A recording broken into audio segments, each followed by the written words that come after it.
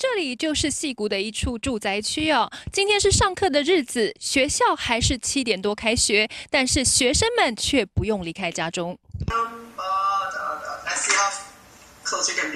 嗯，OK。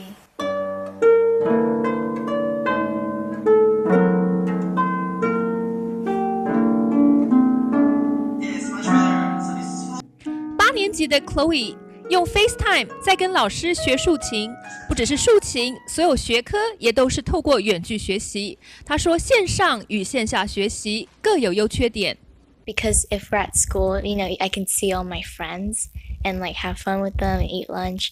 But here, like, there's a lot more free time for me to do what I want. But there's also a lot of free time for me to do homework and assignments.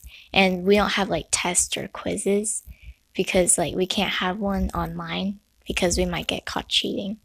美国私立学校几乎在限足令下达后，隔一天就将课程全部转到线上。这是因为远距教学本来就是许多学校提供的服务之一。比如说，啊，家里啊有事情需要飞回啊其他地方，或者是小朋友生病，那嗯，或者是家里啊有人要出差，那小朋友跟需要跟着爸爸妈妈。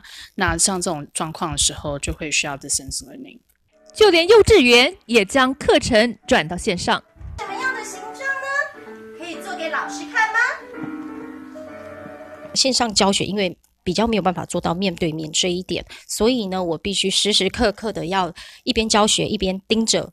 我的电脑荧幕，然后看看孩子对这个动作的反应，然后适时的我必须要用一些呃肢体上面的呃表现，让他们知道说啊，老师都有在看你们。由于限足令是突然颁发，这家拥有九百位学生的幼稚园原本没有提供这样的服务，校方也迅速调整，马上在礼拜六、礼拜天的时候呢。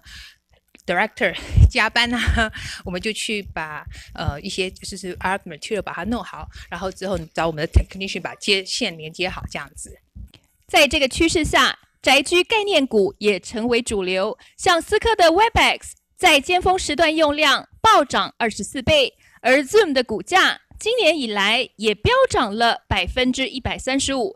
由于目前美国控制疫情。只剩下限足令一图，预计这股宅商机的热潮仍将持续。环宇新闻特派记者曾玉金在戏谷的采访报道。